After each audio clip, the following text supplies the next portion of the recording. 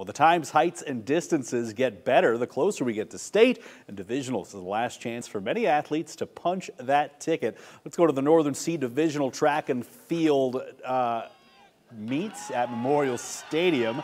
Start of the track and the boys 4 by one That's Shane Gires anchoring Great Falls Central. 44.87 seconds the time on the girls' side. Fort Benton going to take this one. Nicole Axman anchors there, and Longhorns go to win 51.91 more from the Longhorns. Leah Gannon, district champ last week, divisional champ this week. 16 feet, 9 inches for the win. Over to the pole vault. Bar is set at 12 feet, 9 inches. That's Powers Joey Zilks getting it done, a personal record for him at 12.9. Next to the girls' discus we go.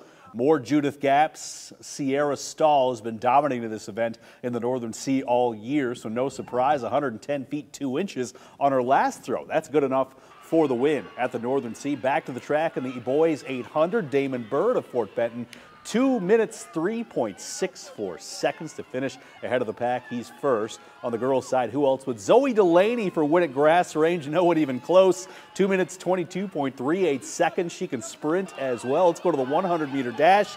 And Delaney goes 12.95 to take another first. She's in line to maybe win four state titles next week. Girls 100 hurdles, we told you to watch for. It's CJI freshman Tatum Hull, 16.38 seconds for the win. And finally, the boys 110 meter hurdles. Keep an eye on the right side of your screen.